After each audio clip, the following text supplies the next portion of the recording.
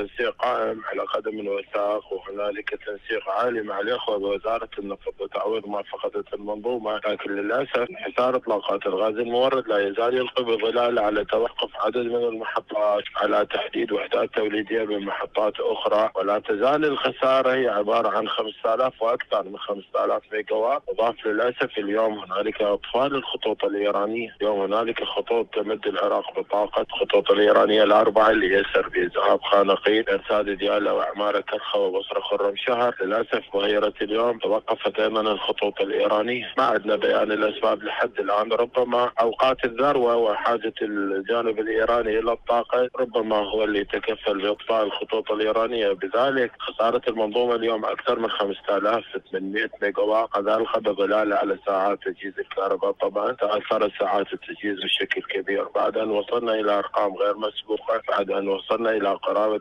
26 ألف ميجا وات وكانت خطتنا تسير بشكل جيد. للاسف منظومتنا اليوم شهدت تراجع إلى تقريبا ال 20 ألف ميجا وات وشويه نوعا ما أكثر. وبالتالي خسارة هذا الكم من الطاقة بذروة حرارة فصل الصيف بذروة زيادة الطلب حقيقة تكفل بتراجع ساعات تجهيز الكهرباء. نحاول ونجتهد باتجاهين مرة بالتنسيق مع الإخوة بوزارة النفط لضمان تعويضنا جزء من الغاز المفقود ومرة أخرى نتواصل مع الجانب الايراني لإمكانية معاوده ضخ الغاز بالكميات المطلوبة. اشعرناهم والتفاعل قائم والاهتمام كبير من قبل السيد رئيس مجلس الوزراء ويتواصل مع الكهرباء بشكل عالي وأوصى وزارة النفط بتجهيز وعدم قطع أي إمدادات وقود عن عن المحطات لكن بصراحة التاثير قائم يعني اليوم خسارة هذا الكم من الغاز وتأثيره على المحطات تأثيره واضح على ساعات تجهيز الكهرباء. مستحقات الغاز المورد للجانب الإيراني وفق العقود لا تسدد، وزارة الكهرباء لا تسدد الأموال للجانب الإيراني مباشرة.